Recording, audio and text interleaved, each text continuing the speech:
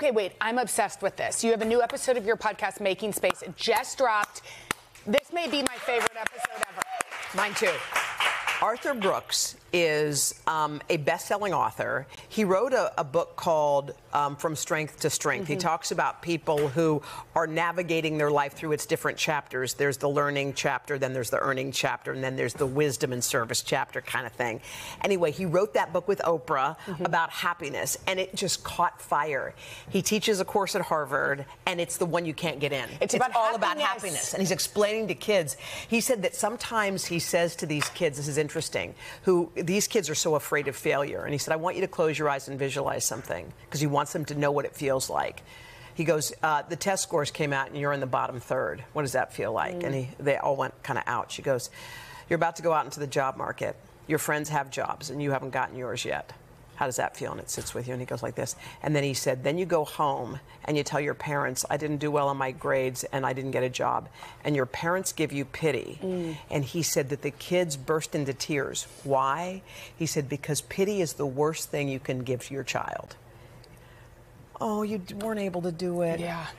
Instead of saying, I know you. Yes. I've known you since you were four. Yes. You didn't get that. But I, but it just it talks about when we think we're poor thinging our child and say, Yeah. oh poor you can nurture and love Right. without pitying. Yes. You can embrace Because without we know what it feels like to have a friend be like, Yes. oh, he didn't call you? Oh, did that hurt? Yeah. You know, that feels, Yes. instead of being like, you're going to find the next dude. Please, right. That person. Um, Oh, wait. what? what? What? I'm you, scared. you, what? What? You, you shared some news with them, which you've shared with me, but Oh yeah, we're we're going to be moving. We're moving. I'm moving me and my kids to another location. But here's, I mean, obviously in the New York area. area. But it's yeah. What if you were like, I'm moving to California?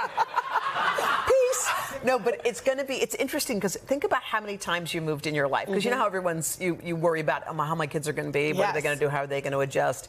But every time I moved in my life, Yes. and you moved in yours, Quite a lot. Yeah, it was like all of a sudden it was a huge adjustment. But the stories I tell about growing in my life come from those. Totally. Not from when I stayed for till fifth grade at you know Morgantown, West Virginia, but it was the transition Yes. when I moved, when my parents moved us to Nigeria, when I moved from you know small market to small market over and over. It's like bonding, severing. You knew what it was like to walk into a room where you did not recognize Yes. one face from the time you were how old? yeah, since Se- yeah, second grade? forever. Yeah, forever. You knew what it was like. And, if you can do that, And the common thread, by the way, about people who work here, Yeah. is that. Yeah.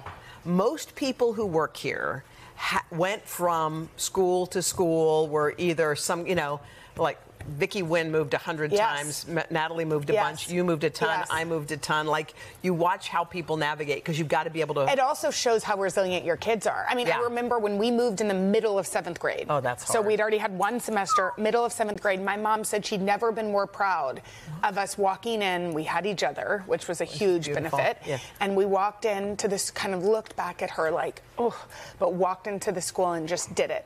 You and because your she sister knew, holding hands. Yeah, holding hands. That we were there together. We had each other. But Arthur Brooks is the king. He's Arthur Brooks, you guys.